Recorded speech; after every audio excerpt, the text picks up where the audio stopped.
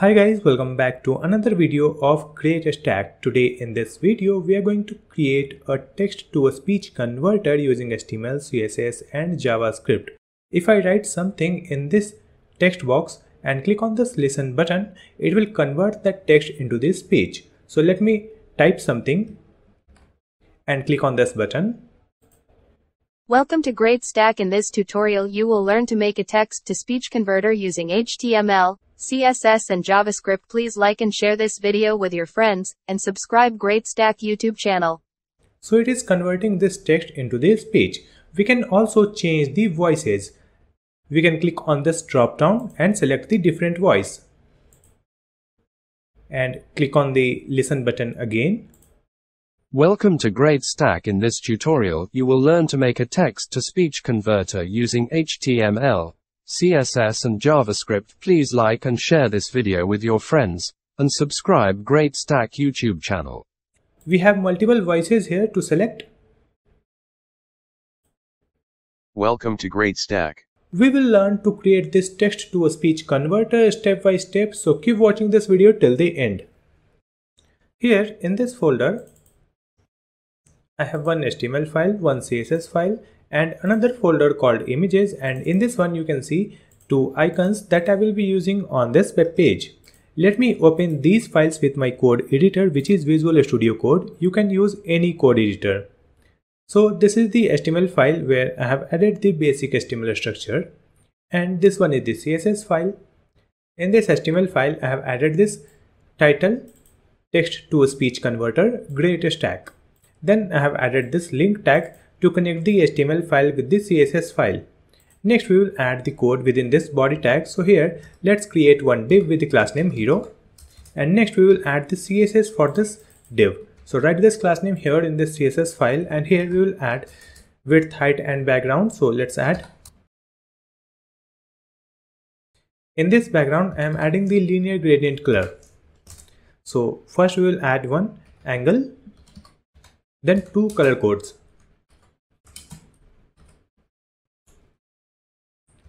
Here we will add display flex,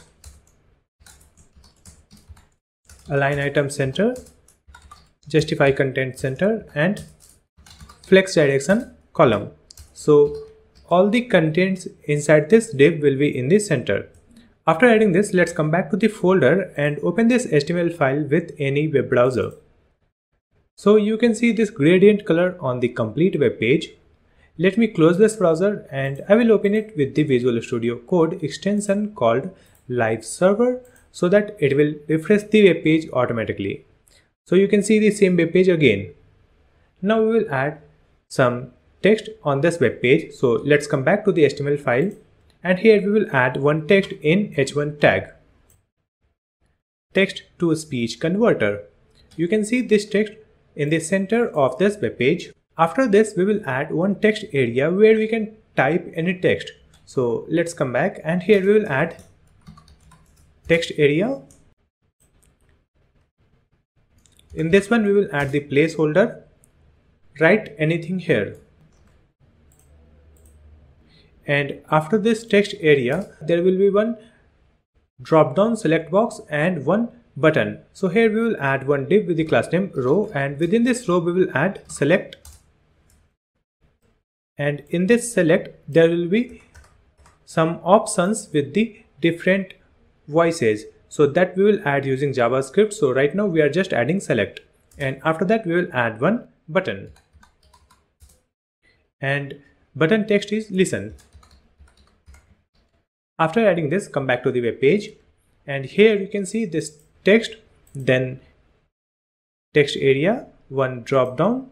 And here we have the button now we will add the CSS for these. So just come back and here in this CSS file, let's add hero h1. So for this title, we will increase the font size, font weight, and we will add some margin. So let's add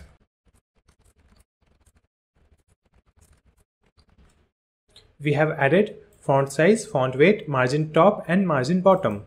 And we have to change the color of this text which is converter. So we will add one a span tag around this converter. span open and close here and add the css for this span here we will add dot hero h1 span so in this span let's add different color code so you can see this color for this converted text. And we have to add the white color in the rest of the text. So let's come back and here in this hero let's add color white. So you can see this text in white color. Next we will add the css for the text area. Here we have the text area. Write it here. For this one let's add the css properties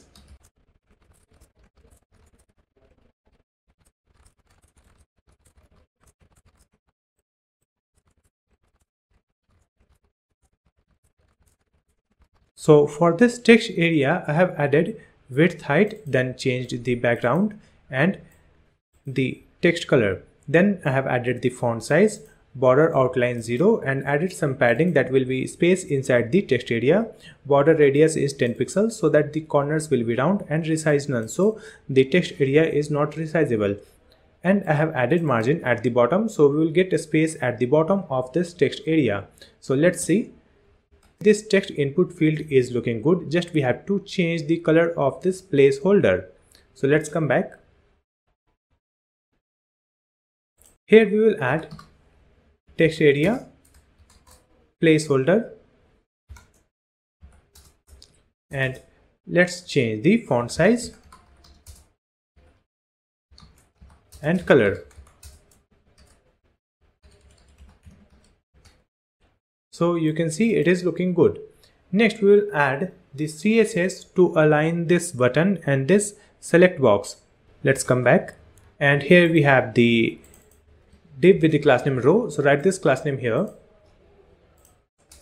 And for this row we will add width. It will be 600 pixel and we will add display flex.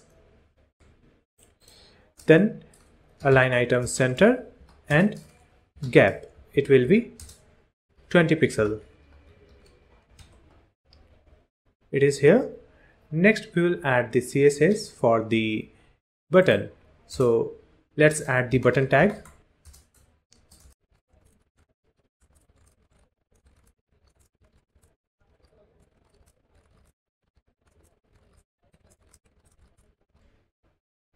For this button, I have added the background, color, font size, padding, border radius, border outline 0 and cursor pointer. So this button looks good. Next we have to add one icon inside this button. So just come back. In this button we will add one img tag and write the file path of the image. So we will add the folder name slash play.png which is the file name for the play icon. You can see this icon here so we have to add the css to align this icon let's come back here we will add button img so let's add the width it will be very small 16 pixel and margin from the right side 10 pixel and in this button we will add display flex align items center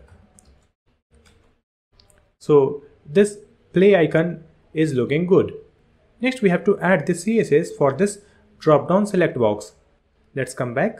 Here we have the select. Just copy this one, add it here. Here we will add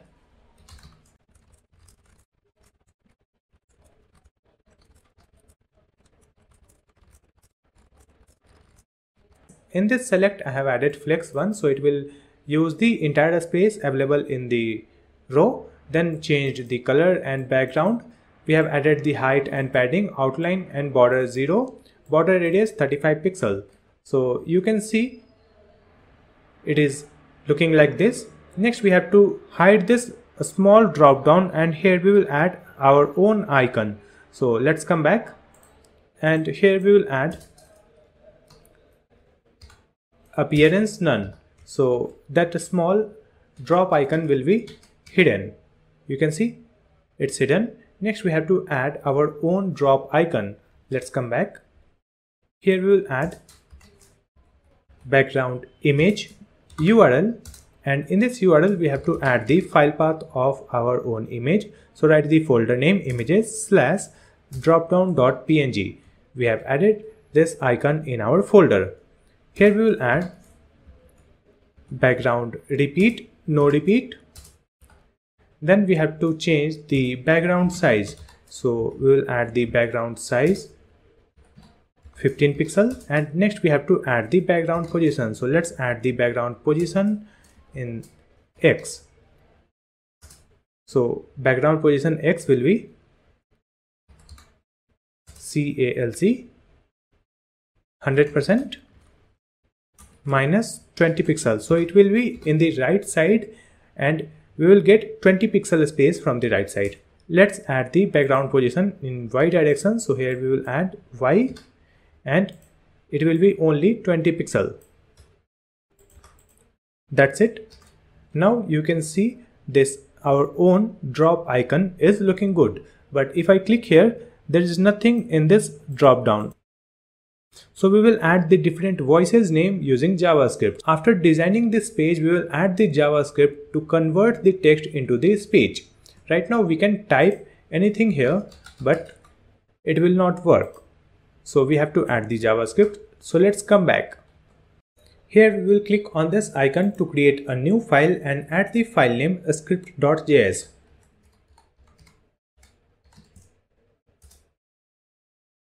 So you can see this new file, it is blank.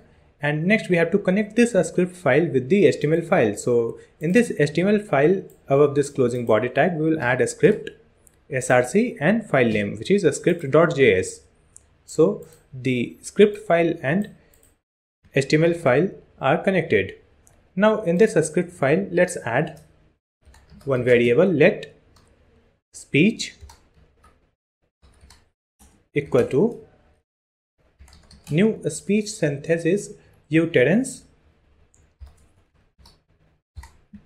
then we will add document dot query selector button. We have to add the click event on the button. So we will add query selector button dot add event listener. Click. We have to add the click event.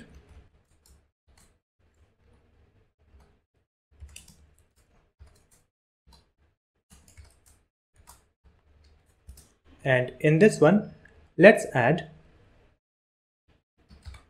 speech dot text equal to document dot query selector and here we have to get the value written in the text area. So we will add text area.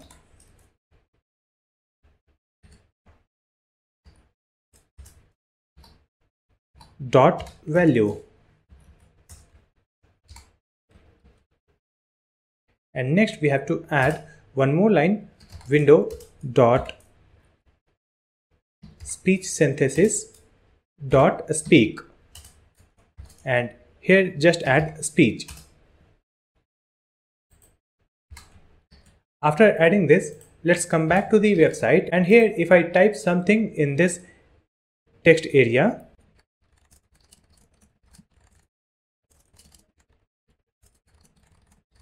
and click on this listen button.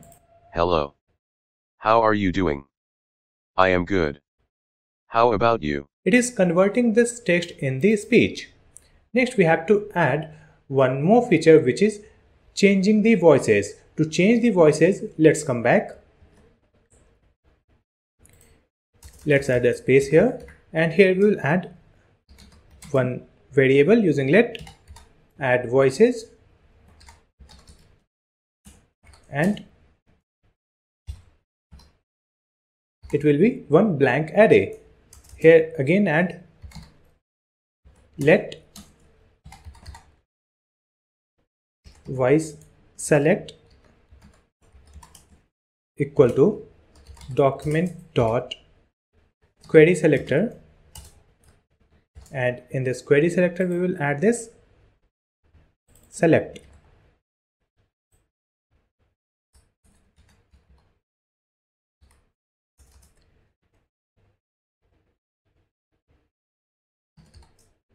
then window dot speech synthesis. Dot on voice changed.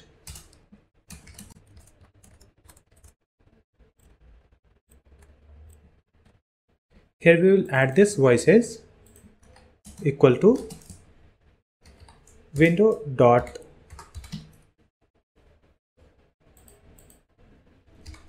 a speech synthesis dot get voices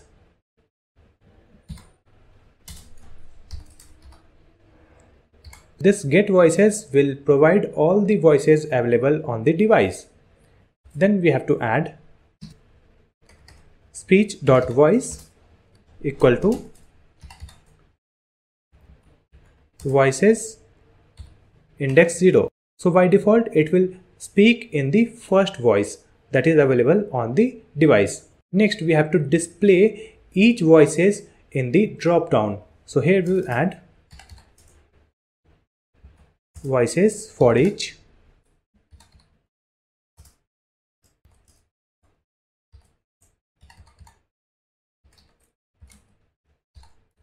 Voice comma i.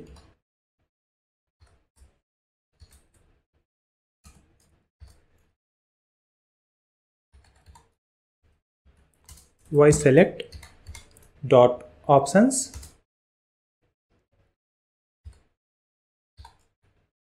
index i. New option. Voice dot name.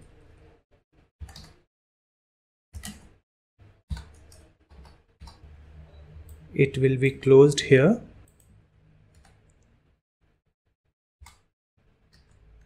and after adding this let's come back to the website.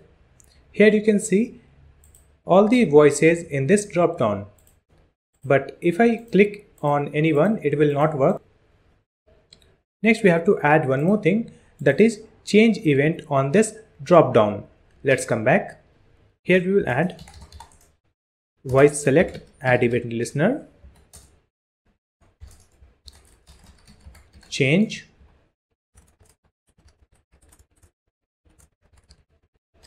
and just add a speech dot voice equal to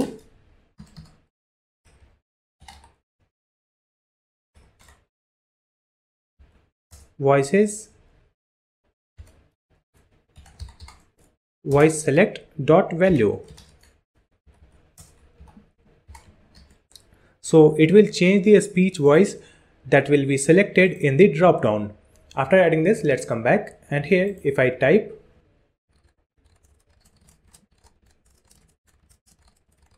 and click on the listen. Hello. How are you doing? I am good. How about you?